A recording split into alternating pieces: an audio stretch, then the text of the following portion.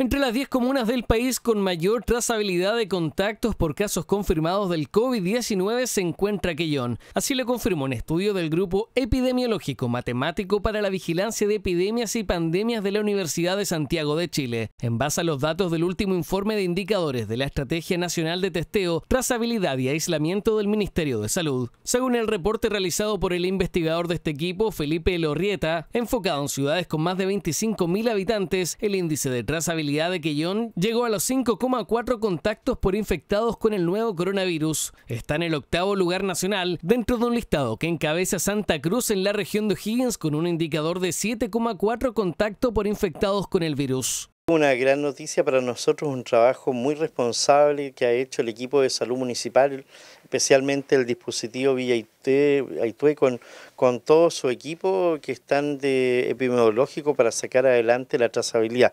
Esto se podría mejorar si es que los resultados de los exámenes fueran más rápidos, que es algo que estamos criticando al gobierno, al Ministerio de Salud, que había un compromiso de tener más laboratorios para hacer más rápido eh, la entrega de resultados. Pero lo que nos toca ayudar y apoyar, que es de que el día que nos entregan el listado de las personas que son positivas, hacer los contactos estrechos, la orientación, la investigación, esta trazabilidad que se llama, que es muy importante. Y también para los que están en cuarentena, hacer llegar la orientación y de que espere con paciencia para que así de esa manera no contagie a otra familia o amigos.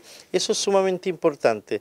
Análisis que fue destacado entre expertos, pues a nivel nacional la trazabilidad va a la baja. Sin embargo, los indicadores de Quillón destacan a la comuna en el país y es que la importancia de realizar una buena trazabilidad es que se puede identificar de manera rápida los contactos estrechos y no tan estrechos que puedan haberse contagiado con el COVID-19, poniendo en marcha todos los protocolos que permitan contener los casos originados a raíz de un contagio. Se hace un trabajo desde marzo en adelante, hemos ido todo aprendiendo hasta la fecha, hemos logrado seguir en fase 3 y obviamente uno de los pilares en ese sentido ha sido la trazabilidad. Hay gente que se molesta, hay gente que se enoja, pero indudablemente los protocolos lo entrega el Ministerio de Salud y nosotros apoyamos esa trazabilidad.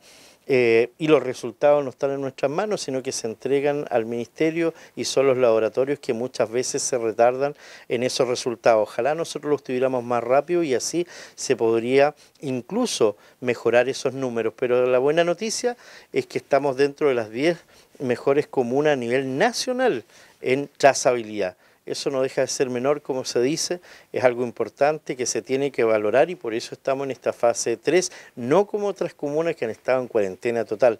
Creo que eso, como no hemos estado en esa situación, no valoramos lo que tenemos hoy día, no la atesoramos y lo importante hoy día es que sigamos trabajando en el autocuidado, en la responsabilidad, especialmente en estas fiestas de fin de año. Trabajo que se continúa realizando por parte de los funcionarios del dispositivo Villa Itue. El llamado por parte del Departamento de Salud Municipal es que la comunidad tenga paciencia, ya que las acciones enmarcadas en la Estrategia Nacional de Testeo, Trazabilidad y Aislamiento permiten contener el avance del COVID-19, resultados que por ahora son positivos y que confirman a la comuna de Quillón como una de las 10 mejores a nivel nacional en la trazabilidad de los contagios.